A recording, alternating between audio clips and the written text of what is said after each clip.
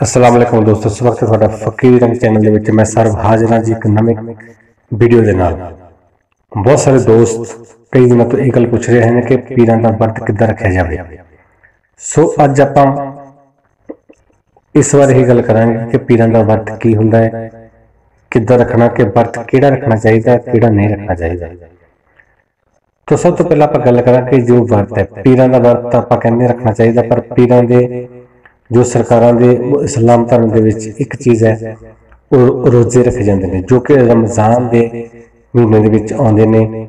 ਉਹ ਜਿੰਨੇ ਵੀ ਆ ਜਾਣ, ਉਹਨਾਂ ਦਾ ਇੱਕ ਚਾਰਟ ਮਿਲਦਾ ਹੈ, ਉਹਦੇ ਅਕੋਰਡਿੰਗ ਆਪਾਂ ਰੋਜ਼ੇ ਰੱਖ ਸਕਦੇ ਹਾਂ। ਫਿਰ ਵੀ ਬਹੁਤ ਸਾਰੇ ਜੋ ਲੋਕ ਨੇ, ਉਹ ਪੀਰਾਂ ਦਾ ਵਰਤ ਰੱਖਦੇ ਨੇ, ਵੀਰਵਾਰ ਦਾ ਵਰਤ ਰੱਖ ਸਕਦੇ ਹਾਂ। ਪਰ ਇਹਨਾਂ ਤੋਂ ਪਹਿਲਾਂ ਇੱਕ ਹੋਰ ਮੈਂ ਗੱਲ ਆਪ ਜੀ ਨਾਲ ਸਾਂਝੀ ਕਰਨੀ ਚਾਹਾਂਗਾ। ਕਿ ਅਸਲ ਵਰਤ ਹੈ ਜੋ ਉਹ ਕੀ ਹੈ?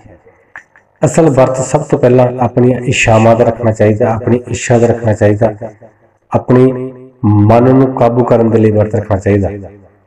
ਵਰਤ ਰੱਖ ਕੇ ਆਪਾਂ ਕੀ ਕਰਦੇ ਹਾਂ ਕਿ ਆਪਾਂ ਇਹ ਚੀਜ਼ ਦੇਖਦੇ ਹਾਂ ਕਿ ਜਿਹੜਾ ਮੈਂ ਅੱਜ ਮੇਰਾ ਵਰਤ ਹੈ, ਮੈਂ ਅੱਜ ਕੁਝ ਖਾਵਾਂਗਾ ਨਹੀਂ, ਸਿਰਫ ਸਰਕਾਰਾਂ ਦਾ ਨਾਮ ਲਵਾਂਗਾ।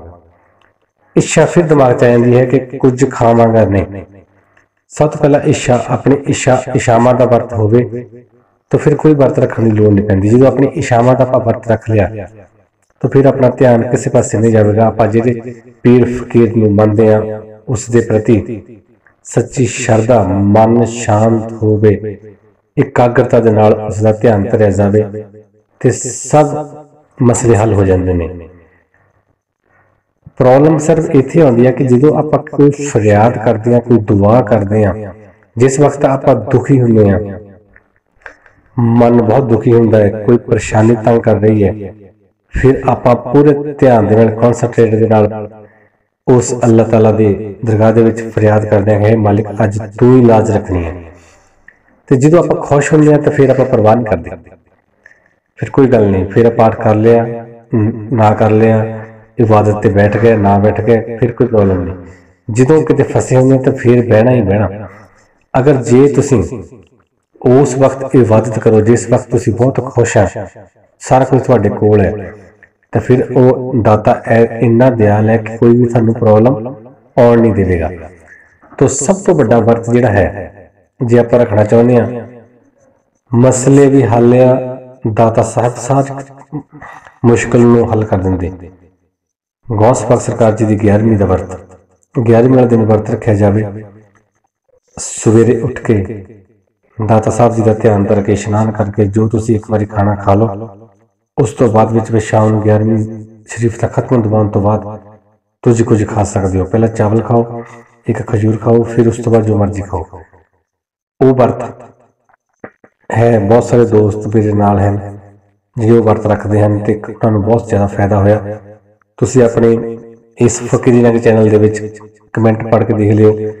ਉਹਨਾਂ ਦੇ ਵਿੱਚ ਕੁਝ ਕਮੈਂਟ ਇਦਾਂ ਦੇ ਨੇ, ਜਿਨ੍ਹਾਂ ਨੇ ਦੱਸਿਆ ਹੈ ਕਿ ਕਿ ਇੱਕ ਕੋਈ ਲੇਡੀ ਹੈ, ਮੈਨੂੰ ਉਹਨਾਂ ਦਾ ਨਾਮ ਨਹੀਂ ਯਾਦ। ਉਹਨਾਂ ਨੇ ਕਿਹਾ ਕਿ ਮੈਂ ਬਹੁਤ ਜ਼ਿਆਦਾ ਪਰੇਸ਼ਾਨ ਸੀ, ਸਿਰਫ ਦੂਜੀ 11ਵੀਂ ਮੈਂ ਜਿੱਤੀ ਆ ਤੇ ਮੇਰੇ ਸਾਰੇ ਹੱਲ ਹੋ ਗਏ ਲਾਈਫ ਹੱਲ ਹੋਣ ਲੱਗ ਪਏ। ਤੇ ਇੱਕ ਸਾਡਾ ਦੋਸਤ ਹੈ, ਉਹ ਵਾਲੀ ਕੰਟਰੀ ਵਿੱਚ ਹੈ। ਉਸਨੇ ਕਿਹਾ ਕਿ ਮੈਂ ਬਹੁਤ ਜ਼ਿਆਦਾ ਪਰੇਸ਼ਾਨ ਸੀ। ਜਦੋਂ ਦਾ ਮੈਂ ਚੈਨਲ ਦੇ ਨਾਲ ਜੁੜਿਆ, ਮੈਂ ਕੁਝ ਗੱਲਾਂ ਸੁਣ ਕੇ ਉਹਨਾਂ ਦੇ ਹਿਸਾਬ ਨਾਲ ਚੱਲਿਆ। ਦਾਤਾ ਸਾਹਿਬ ਜੀ ਦੀ 11ਵੀਂ ਦੇਣੀ ਸ਼ੁਰੂ ਕੀਤੀ ਤੇ ਮੇਰੇ ਮਸਲੇ ਹੱਲ ਹੋਣ ਲੱਗ ਪਏ। ਸੋ ਆਪਾਂ ਸਿਰਫ ਸੱਚ ਦੇ ਰਾਹ ਤੇ ਚੱਲਣਾ।